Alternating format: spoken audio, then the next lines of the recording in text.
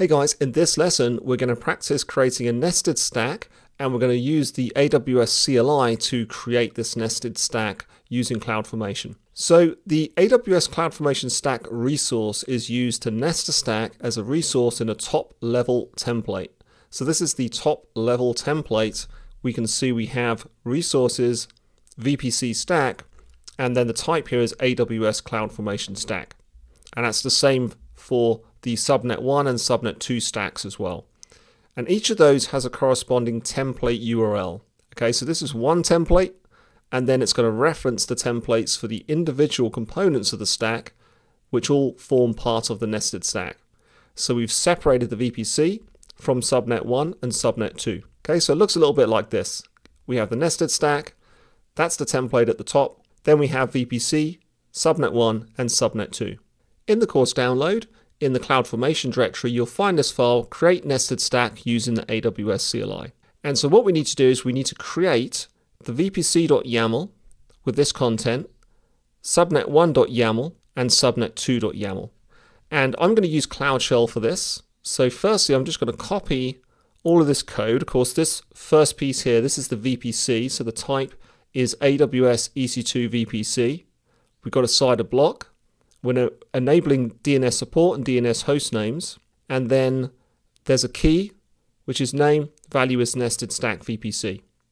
And then we've got some outputs as well for the VPC ID. So let's go and create vpc.yaml.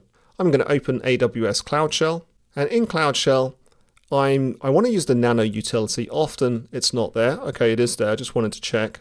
And so what I'm going to do is I'm going to nano, and then I'm going to create the file called vpc.yaml and then paste this content in and then let's just save that. Now if it's not installed by the way just run sudo yum install nano and install nano. Alright so I now have vpc.yaml. Next I want subnet1.yaml so I'm going to copy all of this. This is for the subnet. It's referencing the VPC ID and it's going to create our subnet with this specific CIDR block here.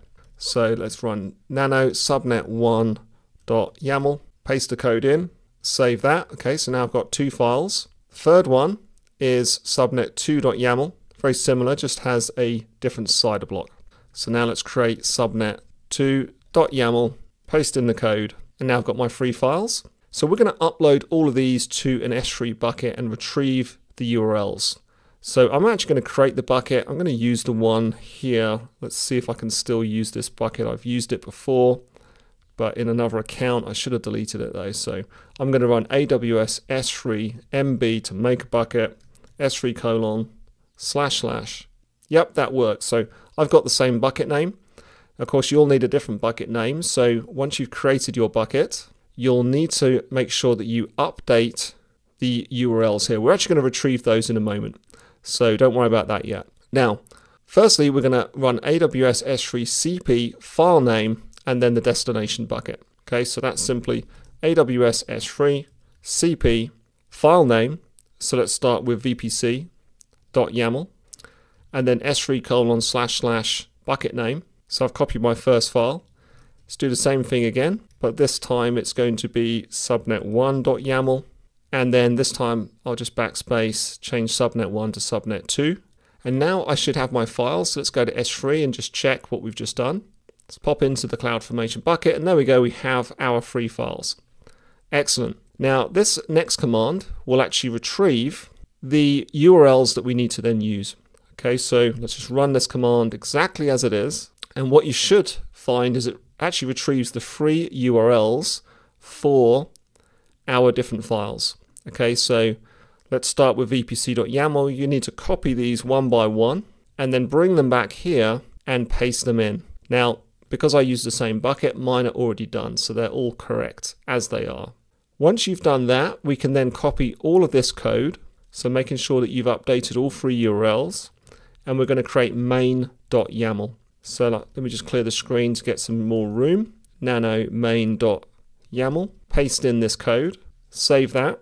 So now we have main.yaml, and then the other three are actually in our S3 bucket. So what's going to happen is when we actually deploy using CloudFormation, main.yaml is going to reference the files in the S3 bucket. So what's next?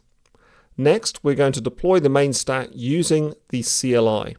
Okay, so we're going to run AWS CloudFormation create stack, give it a stack name. Mine's just nested stack example. The template body is main.yaml in the working directory, and then capabilities is capability named IAM. So let's copy this whole command. So let's run this command, press enter, and if we get the stack ID returned to us, that's good. It means it's created the stack. So we can now go over to CloudFormation and watch what's happening. So here we are, we can see our nested stack example is creating progress. It's actually specifying that it's a nested stack. So what we're going to see is that there's actually multiple different stacks that are going to be created. So it didn't take very long at all, and all of these are create complete. We can see this one here, this is the nested stack example. Then we've got the nested stack example VPC stack, and it's telling us it's part of a nested stack. Then we've got the subnet 1 stack and the subnet, subnet 2 stack. So the VPC stack should have produced an output, which is the VPC ID. And then for subnet 1, we get the subnet ID. And for subnet 2, we have also the subnet ID. So now we have these different stacks all created as part of the nested stack. And of course, we can run updates and, and update them individually if we need to. So it's kind of separated some of the components of our stack and then brought them together again. So if you want to, you can go to VPC and have a look around. Of course, it's just a very simple VPC that we've created. This is the nested stack VPC, and we should have the nested stack subnet 1 and subnet 2, okay? And then the associated information, so or, or configuration rather. So then you should have obviously the route tables and so on, which have been created. Here we've got one for nested stack VPC. And that's basically it. Very simple exercise to deploy a nested stack using the command line interface. Now, easiest way to clean this up is just to run another CLI command, which is just the delete stack CLI command. So I'm going to run that one again in Cloud Shell, and that's going to initiate the deletion of the stack so we can come back to CloudFormation and we can see that that's all happening now.